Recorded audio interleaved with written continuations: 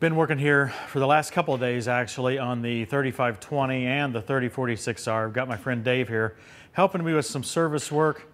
Got several things to show you that we've done on these tractors and some kind of issues that we've run into. Let's get started. Hey, if you learned something from our videos or enjoy watching, please hit that like button. Our old couplers on Old Salty here are just that. They're all full of salt. So they just didn't hardly work at all. Now that we've got them off, we've got them loosened up again where they would kind of work. But they're just, they're just full of rust. They're in nasty condition. So I just decided to replace them all. So we've got brand new couplers here. These are the factory couplers from Deere, but I actually didn't buy mine there. They're faster couplings, and I bought mine from boltonhooks.com. Got them cheaper than what you can get them through Deere. They're exactly the same part. The part number is listed right here and in the description. And we'll put a link to those on boltonhooks.com if you're interested there. He's got several other faster products that are the same ones that are used on these Deere products. It's, it's just a way for us to provide a little bit of a discount over the, the Deere part numbers themselves. And it's the same product. And this one's a little bit specific for a couple of reasons. Number one, the thread is uh, ORB instead of pipe. Most, most places have just the pipe. The other is it has some, some uh, slots in here for the snap rings, right, that, that, that keep it in here. It's a, I would almost call this a bulkhead, but uh, the snap rings keep it, keep it in place there. Mine's a little bit bent up, but uh, Dave and I decided to kind of leave that alone for another day.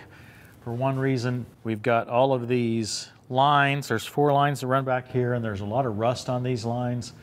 They're a bit fragile at this point, and they're over $100 a piece, so I'm trying not to replace them. In the event that they break, well, I'll replace them then. But uh, for right now, I'm just kind of leaving that alone. If you got any advice on that, you're welcome to leave it in the comments. Hey, I want to show you some lighting. These are my new flashers from larsonlights.com. I don't know if code TTWT works there or not. I'm actually not sure that it does, but these are specifically made to replace the Deere flashers. However, I had some issue with them once I got them installed, uh, it threw a code, and it basically gave the code that there was no bulb, right? That the bulb was out of the back. I think it's 65 and 67, and maybe 69. There may be a 63 for the for the front ones, but we only had problem with the rear two. The front ones, for whatever reason, worked fine, but I had to add an extra resistor. So I talked to the owner at LarsonLights.com, and he sent me an extra resistor, and I just wired that in parallel with the bulb itself and stuffed it in there. And by parallel, I mean there was an existing resistor, there's two wires wired between those so that these two resistors were, were side by side. Just to add a little extra resistance, meaning these LEDs weren't pulling enough power for the tractor to recognize that there was a bulb in there. My understanding is that on the 3R tractors, you don't have to have that. So they've got enough of a enough of a change in the, the software somewhere on the sensing for that that they don't, they don't need that. But for these 3X20s, you may or may not. I didn't on the front, but I had to have on the back. Oh, wow. Blind me. Yeah, these are also Larson lights, and they are crazy bright, and yet they don't use a lot of power. Uh, big LED lights, but they're the same form factor as the old lights. Yeah, I'll turn them off. The camera lady is uh, having a fit at this point. I can't see. Notice that the door doesn't hit me. We've talked about the uh, right-hand door kit in other episodes, but yeah, I still love that. Dave did a full hydraulic fluid change, a, a motor oil, engine oil change, um, went through all the other service that could possibly be done on this tractor. We have one filter that we're still waiting on, um, an inline oil filter that we'll show you at some point. I needed to do the hydraulic change because I had done that welding there and I had found that hole right in the, in the left transaxle and I just needed to get some of that gunk out of there. So that's what we did there. Let's check out and see what Dave's doing now. If you've watched our videos since spring, you may remember Dave. Dave was in Honduras with us. That's actually when I met Dave was well, not really in Honduras, but in the airport on the way to Honduras. Dave's been helping me a few days a week here just to try to help me get going. I, I, I've got so much stuff to maintain and all, there was just no way for me to be able to get to everything. Dave works for a major company here in the area and he does mechanic work for them. And thankfully, he works four days a week, 10 hours a day, and that leaves him a couple of days that he can help us. So it's really been good, especially when I have some issues like this. So I was seeing an oil leak that I believe is coming around here. Now, you don't see any evidence now because we washed the tractor up real good, and I think most of the oil is leaked out uh, that's around here. So I don't know how. I think there's a seal in here. I don't know how it went out, whether we did it power washing or whether it was pressure due to not having the vented uh, dipstick there. But uh, we're going to take this apart and see if we can figure out anything. So looks like we're going to have to go in from this end to get this apart. And I don't think I have enough seals to replace that with. So we may have to leave it apart for a few days. Garage door over here. Oh, cats keep taking apart. here we are. I'll take it over here. Notice that little Yep, tiny, yep. boy, that's a tiny seal. There you go. Looks brand new in here. This is the front knuckle housing uh, because this is, I believe, what's referred to as a portal hub, meaning it's not direct drive. It has to drop down through this shaft. And this is a, a spindle that then turns a larger uh, ring gear. And it increases torque but lowers RPM. It's fantastic for tractors. Yeah, we're gonna take that bottom cap off there, right? Yes, yes, there's a cap here, we'll drop out and we're gonna drop the shaft out so we can get to, if I turn it, so we can get into here where that seal's leaking. Try not to tear too much stuff up doing this.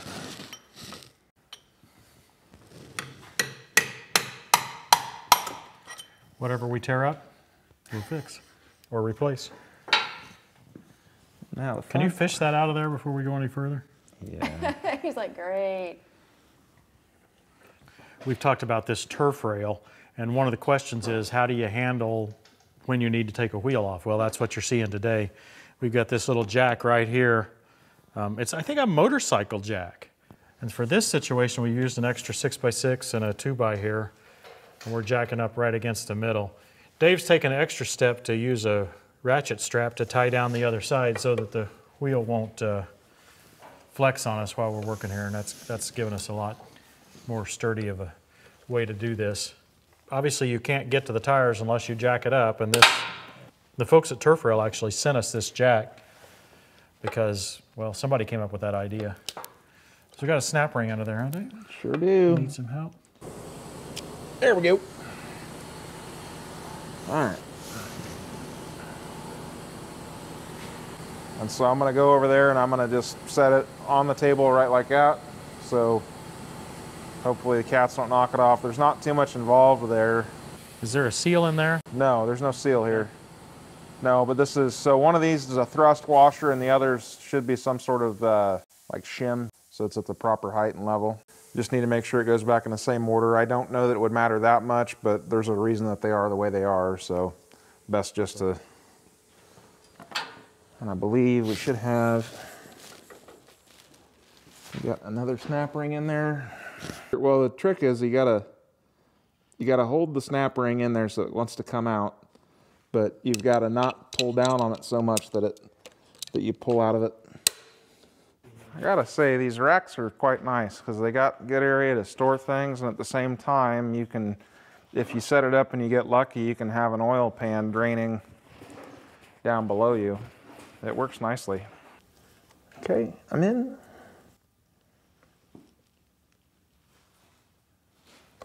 Oh, oh, look at that. Okay, that's the trick, guys. Bring the snap ring around to the open side with straight snap ring pliers, Yep.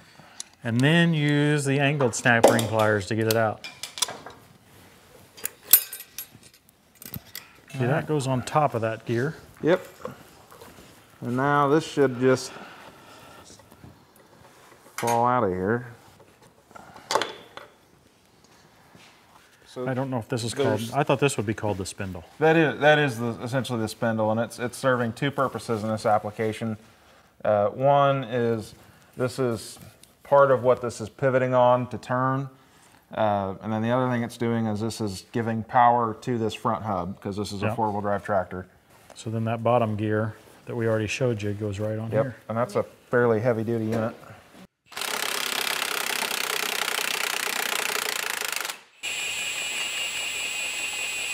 Come on, baby. Okay, hold it. Let's uh, let's just get our both of our hands on it.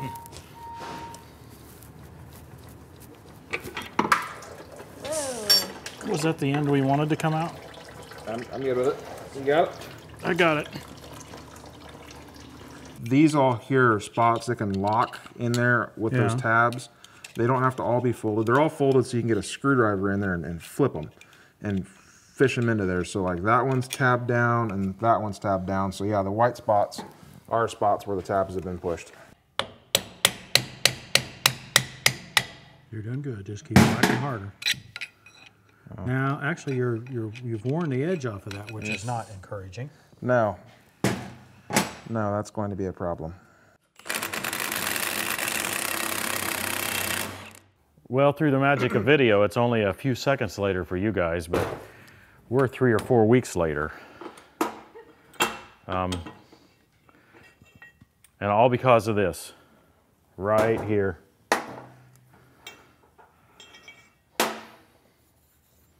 This is uh, the socket that we needed. And we tried to buy one from AutoZone. In fact, we did buy one from AutoZone and brought it home, but it had six, I don't know, what do you call these? Nubs. Yeah, good enough. And uh, this one has four, so there was no way. If it had eight, we could have ground four of them off. But six, there wasn't anything we could do with that. But you're already done. Yep. That's all it took. 80 bucks. The John Deere dealer does not rent them. They didn't have one in stock. I guess these front axles never go bad. They didn't even have one that they used. Was the seal in stock though? I don't know. I ordered it online from greenpartstore.com. And I used code TTWT. You knew that, Dave. Yes, I was going to say it actually. But I don't have to worry about whether they're in stock or not when I order from greenpartstore.com because even if they have to order them, they just do it. It might take an extra day or so to get here. So we've got a stack of seals and stuff here that Dave's going to put back in for us. Now that I've seen how involved this is, I regret just diving in on it. I now I wish I would have done a little more diagnosis, right? I wish I'd have filled it back up full of oil and tried to figure out what was leaking and you know, as it is, I just thought, hey, there's oil coming out of the thing. Let's tear it apart and replace the seals and move on. But it is pretty involved. This would be a big DIY project. It's definitely involved, but I'd say we're on the right track with this. There's there's not much else in here that could really be leaking, honestly. Because uh, if it's if it's not this inner seal, then it's a case issue, which it's a fairly Let's don't new talk about tractor. that. Exactly. So I I think we're I still I feel comfortable with it. I think we're on the right track. So we have to take that big washer out next? Yeah, and uh, I'm gonna use your new Christmas present. Look at that. Uh, yeah, With the right tool, it came right out. absolutely.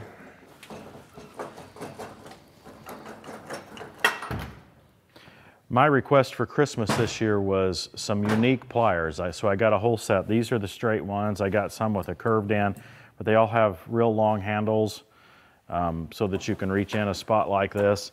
And it's not that I even had a task for them. I just have realized that the type of stuff I've been needing as we get a little more involved in some mechanics is just some unique tools, right? Something to, to help you reach into a difficult place and Oh, it came out just immediately. Well, and judging off the mud and stuff in there, I'd say that we are. We're on the right track. Yeah, I think so. Yeah, it's got mud all in there, doesn't it? Yes, it does. I wonder if I did that with the power washer or if I did that by getting in the mud in the pond. Uh, mud in the pond. Uh, what I suspect the case here is the seal blew out from that plug on there, pressurized it, blew the seal out, and then you driving through it allowed it to come back in. So it's one of those once it's once it's no longer sealing, it's going to go both ways. So probably originally still the, uh, I needed the vented dipstick. I think so. Yes. OtisInnovations.com is where I'm going to get my vented dipstick. In fact, I may have one around here. You can use code TTWT there. I can't say that, Dave. I'm going to have to get you to start saying Code that. TTWT. and get a discount. Um, it's machined aluminum. This theirs is, so it's pretty fancy. Kenton was talking it up quite a bit. Yeah, does he have one? Uh, yes, yes, he does. Uh, said it was quite the thing when he got it. We got a new version of that. Good deal. The other part of it, with again just a lot of mud packed up in there. Yeah. I'm saying we're on the right track, Tim. All right, where's our sledgehammer from earlier? Sledgehammer. I'm nervous now. Well, sometimes you gotta go. You gotta break it before it gets better.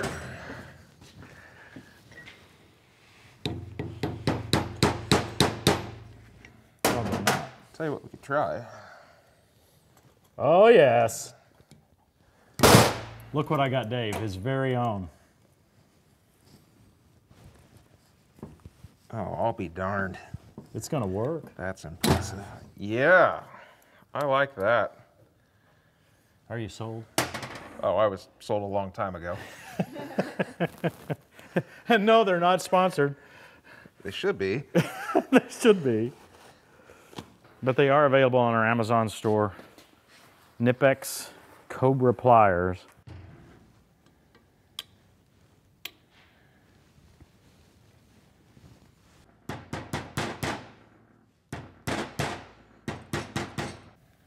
Is it kind of obvious how those go in?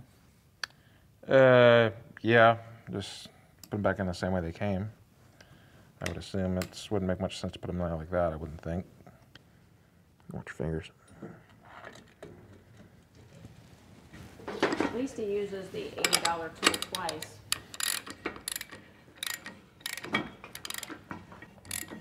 Well, we should have looked into to see is how many of these tractors take that particular socket. I don't know if I can. I don't know if I have that information. I don't think that's. Oh no, it's starting on. Here. It was weird. going down, and I could feel this going down. So I think you're, you know, it's just got a, probably a good ways to squeeze. Yeah, it's going down. The other trick of this is going to be. This thing's going to want to spin on us when we go to torque it. We don't have big enough vise to lock this thing down. We're soon going to get to where I'm going to need to install my vise, Dave. Yes. We need to put that as a project on the list to figure out how I'm going to install my vise and where. I, I have a plan. I know you have a plan. I don't know if you're going to like the plan, but I have a plan. What are you going to do? The two-inch receiver thing? I like the two inch receiver thing. This table here is essentially about the same width as a truck um, tow bar or tow hitch. And so my thought was so that we're still able to have the nice big table over here is we we can go in and build something that will mount down in here and put a nice two inch receiver right here and we'll just simply mount that vise to a big old two inch wedge and slides in there, pins it, locks it down. And also you've got a bench grinder we can put in there. There's several different attachments. We could even Uh, put a couple of them if we want them at the same time, then couldn't we? Yes, yes, you could put one there and one there. Or the other thing you could do too is, uh, say you've got a tubing bender or something, you can mount that in there. You can make jigs for doing different. You obviously don't do roll cages and stuff, but something like that. You know, if there was something more, a lot more fab work, this table is very nice and you could use it for different Yeah. things. The frustrating part to me is this table. I found a place where I could get these for $60 each. And I finally convinced myself to get one.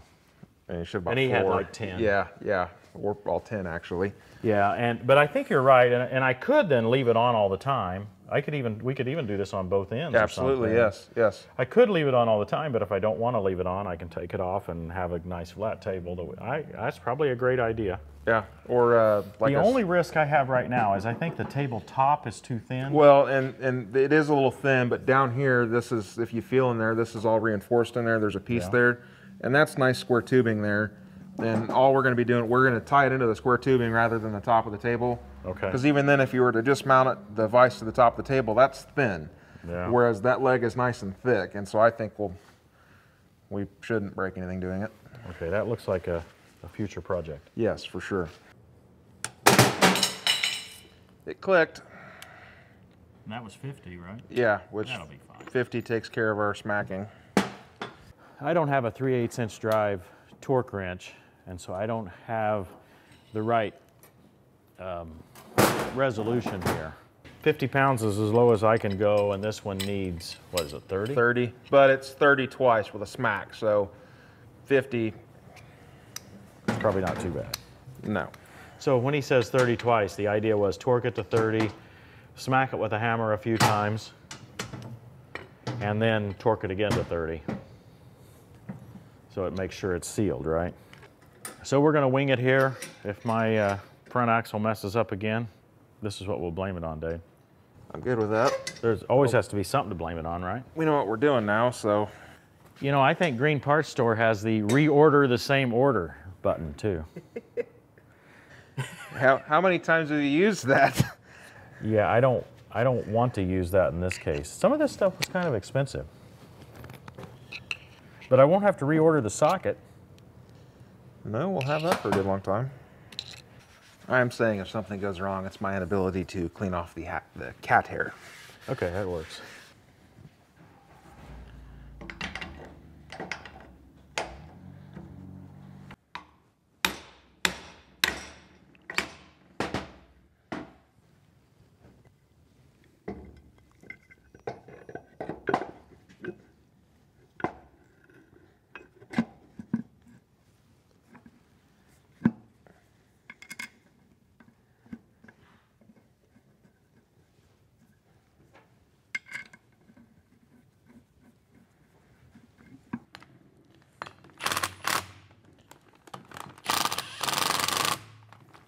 About ready to go shove it back on the tractor.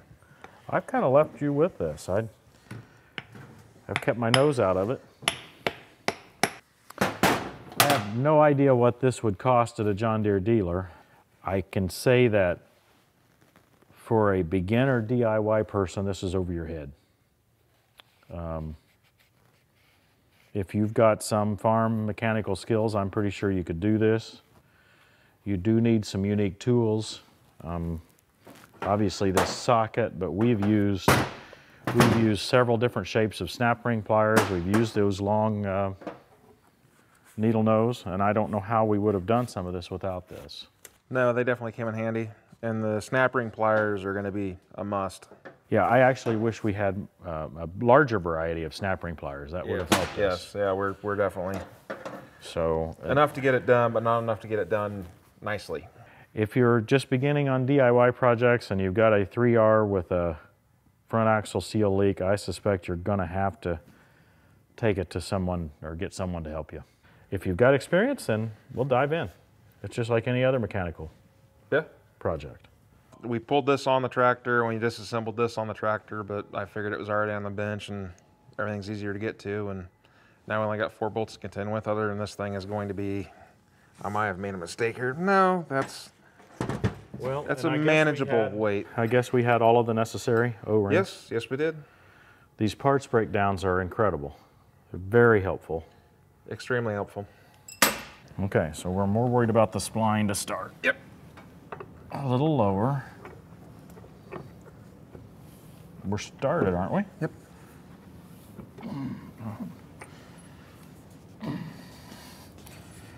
Wouldn't you know it, I didn't try to actually put a bolt in further. 15 16 fits her. He goes with English.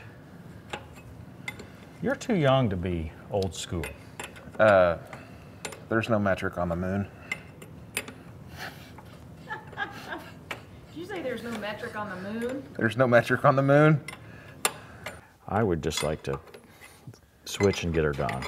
Do you know why we didn't switch? Because of boys like you and me growing Pirates. up. Pirates? Pirates. Uh, the deal is there was a ship carrying all of the measurements over here, and pirates attacked the ship, Uh huh. and uh, that's why we're one of three countries that doesn't use metric. Daily Doubtables with Dave.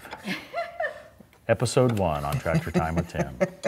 Pirates are the reason that we don't have the metric system. My Otis innovation's been a dipstick We'll prevent one of the reasons that uh, it's potentially blew the seal, but it may not be all of them. Pirates, Dave? Pirates. Christy looked them up. He's right. So today's Daily Doubtable with Dave, you, you actually succeeded. Yep. We'll see how this we'll see how this goes. We'll keep score in the future. Get a big old chalkboard. Okay, this project is not a homeowner project.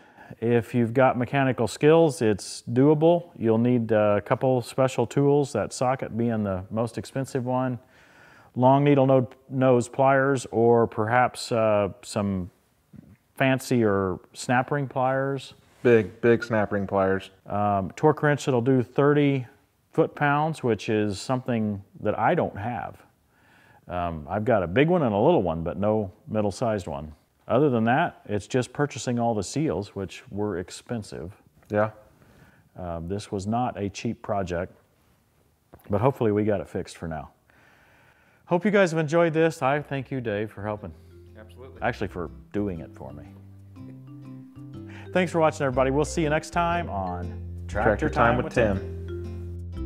Nevertheless, God's solid foundation stands firm, sealed with this inscription The Lord knows those who are His, and everyone who confesses the name of the Lord must turn away from wickedness. That's the first time I've been able to use that on Tractor Time with Tim. The Daily Doubtables with Dave. Oh, we'll get more. I found this on the web.